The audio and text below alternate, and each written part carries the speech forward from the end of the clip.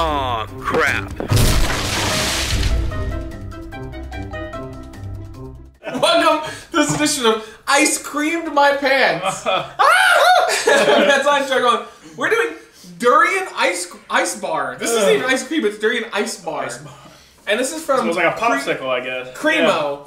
Uh, I got this Cremo. from the 99 Ranch Market, and I was out there getting some stuff for something else we're gonna film today. People always ask us do some do some durian ice cream. Well, this is durian ice cream essentially.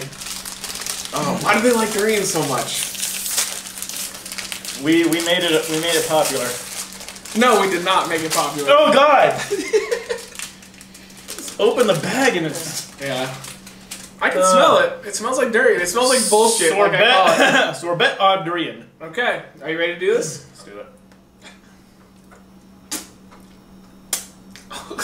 We smacked tits. We didn't did gingerly touch our tits. but oh Fucking- God, Fucking gross. that's vile.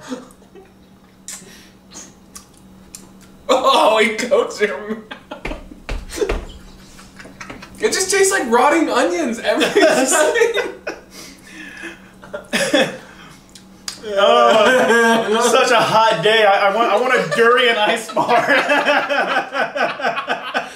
oh, oh, ice cream Chuck.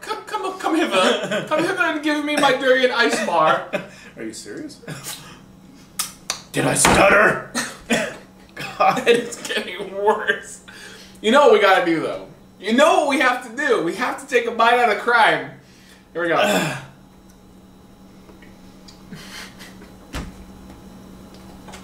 Oh my god! Oh it's the spot. What a hot day. this is this settles everything.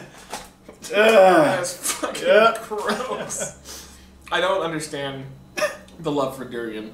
One thing I'll say is it has like a, a decent texture to it at least. Like if this was any other flavor of, of ice cream, it'd be fine. But it's durian, Yeah. so it tastes like rotting onions that have been sitting in a dumpster for like a week. right. It's disgusting. I don't get it. I hate it. I, I would give this a very low one. This would be luxury, almost luxury zombie apocalypse, but not but like, this is you know, poverty zombie apocalypse.